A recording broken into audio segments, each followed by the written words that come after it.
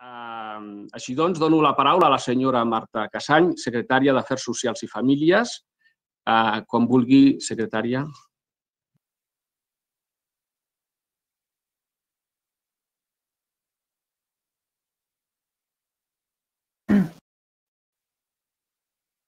Bon dia. Em sent bé? Bé. Eh, Avant, bon perfecte. Mm, molt bé.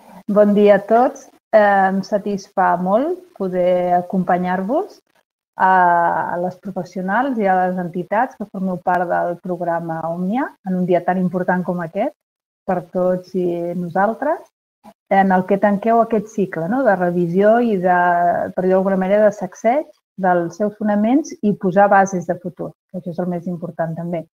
Fa un any, el 21 de, de novembre de l'any 2019, l'any passat, us trobeu a l'edifici de Telefònica, a la Diagonal, i vau celebrar aquest 20è aniversari d'Òmnia i vau fer mirada enrere per ser conscients del que havia suposat el programa tots aquests anys per moltes persones, però també veu compartir eh, les dades extretes del procés participatiu que es va desenvolupar durant aquest, aquell any, el 2019.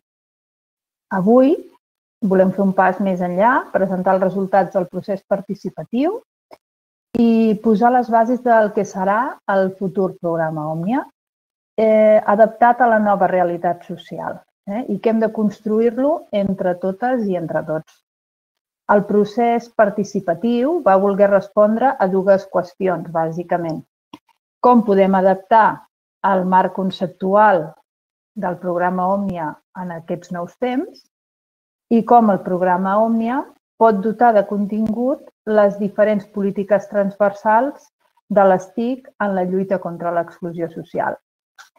Al llarg de les 22 sessions presencials, 10 sessions autogestionades i de la participació en línia que es van recollir més de 600 aportacions i propostes, que són moltes, eh, i que avui presentem resumides i distribuïdes en funció dels eixos de debat del procés, participaci del procés participatiu i que de fet és el que, les que han de servir com a premisses no, per, per construir aquest nou Òmnia.